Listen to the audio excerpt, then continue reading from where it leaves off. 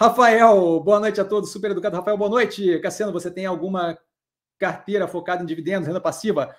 Não vejo sentido nisso, tá? A carteira é uma só, porque quando eu escolho investimento, eu escolho o melhor investimento possível para alocar meu capital. A ideia de escolher com base é, em, em, em, dividendo, renda passiva, faz zero de sentido, certo? É, o...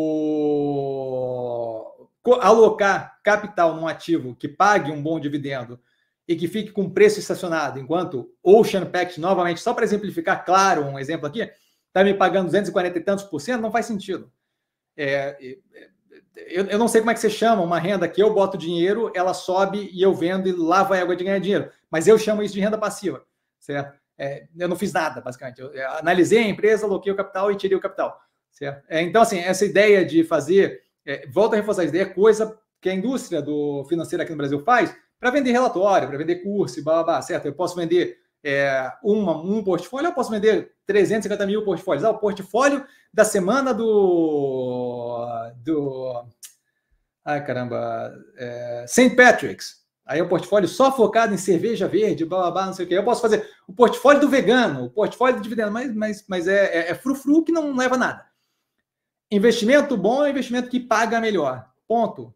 Certo? Então, assim, se é por dividendo, é, Banco do Brasil pagou menos percentualmente, tinha um dividendo agressivo acumulado junto, maravilha, ótimo, dividendo veio junto com a operação e tal. Mas, mas o que faz uma operação te pagar é o, o que vende mais do que você colocou alocado no final.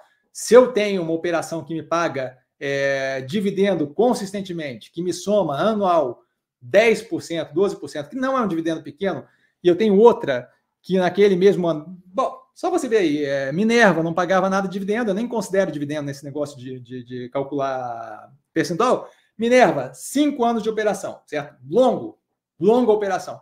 Não me pagava dividendo. Foi pagar lá para o final, mas de qualquer forma, nessa matemática, considera zero.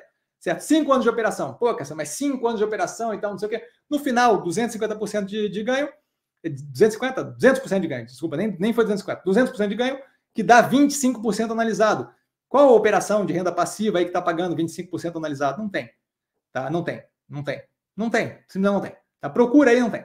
Tá? Então, assim, é, 25% analisado quer dizer 25% total daquilo, mais 25%, total daquilo, mais 25%, cinco anos consecutivos.